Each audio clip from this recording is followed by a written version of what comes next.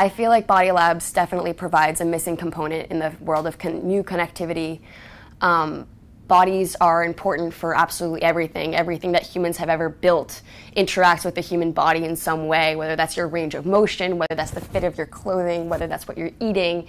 Everything affects your body. So we have to understand bodies better, how they change over time, how, how to make clothing fit better, how to have everything be made to your body, to your, your body uniquely, not just you know bodies in general, being able to have mass customization and being able to just make smarter body, smarter products that use the body as data to provide a smarter and more connected world.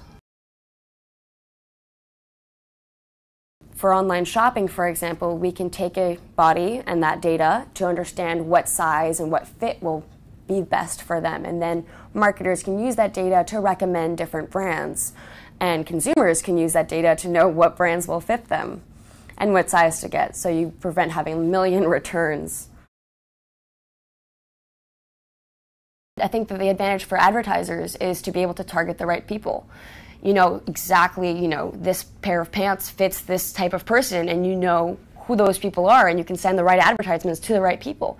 Um, and I think that, first of all, that'll be cheaper but also people don't like having advertisements that you know they that feel that they're not relevant. They want something that actually helps them, and you want to have you know you want to have recommendations, not advertisements. And to do that, you have to be able to um, have more data about the body to know you know who to target. One of the problems with the connected world is, of course, more data is better, but smarter data is better. So if you're getting, you know, a million advertisements per day, you're getting a million things in your email, your news feed is blowing up, you need data that is right for you. And to be able to feed the right data, it needs to be more intelligent and therefore you need to have it be more specialized. It needs to be a unique form of advertisement. It needs to be the unique shopping experience. It needs to be unique to your body. It needs to be unique to your tastes um, and this is just one part of the whole of making all the data right for you. Because we're on the edge, we haven't really figured out all the kinks in terms of like what's going to be private, um, and then what's going to be shared, and like where well, there's no industry standard yet for privacy. Um, but I think that the most important thing is that, again, that the information is being processed by computers and not people. Um, that it's being anonymized, that it's statistical, and that it's not being saved in such a way that it's associated to you. I don't want there to be a file that says, Flora McDavid, you know, here's your water usage and electricity consumption and air conditioner hours and, you know, your body data, especially things as private as that, or like your internet usage. That shouldn't be stored as like together. But if it's anonymized and separated per industry with all the other data about, you know, what air, what time people use air conditioners or what their bodies look like, then I think it's fine.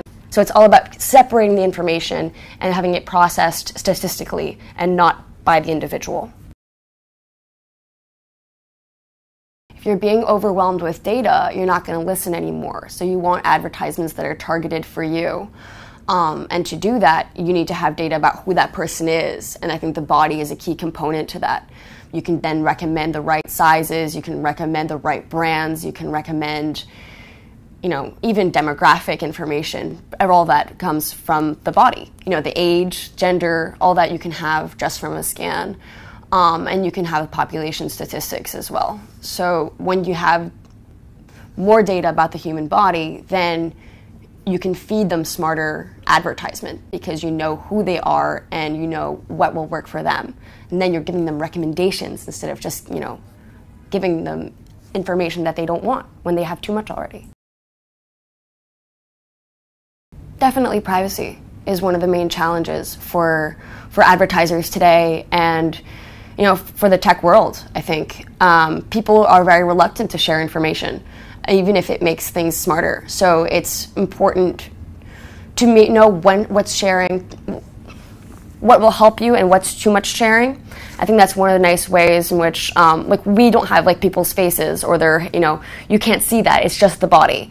So that way, you don't feel like it's like too personalized or too much privacy sharing. But uh, at the same time, you can get the data that's right for you. You know, you don't need to know, have a picture of a person to get the right size, for example, or to get the right brands.